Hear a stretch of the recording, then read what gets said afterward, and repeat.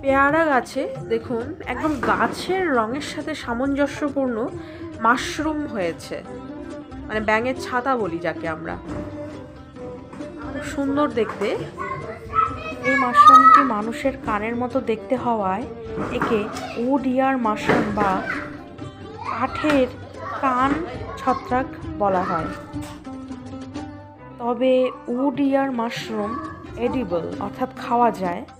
তবে এই বিশেষ প্রকার মাশরুমটি খাওয়া যায় কি না, এ বিষয়ে আমার জানা নেই। কারণ উডিয়ার মাশরুম নানা প্রকারের রয়েছে। এটিও একটি উডিয়ার মাশরুম। একদম মানুষের কানের মতোই দেখতে। ছোট ছোট শিরা উপশিরা রয়েছে।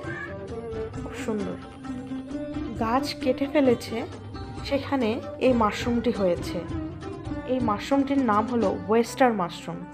কারণ সমুদ্রে যে ওয়েস্টার পাওয়া যায়, তার মতো দেখতে। নানা প্রকারের ওয়েস্টার মাশরুম খাওয়া যায়, কিন্তু এই মাশরুমটি খাওয়া যায় কি না আমি জানি না। আপনারা ভালো থাকবেন। ধন্যবাদ।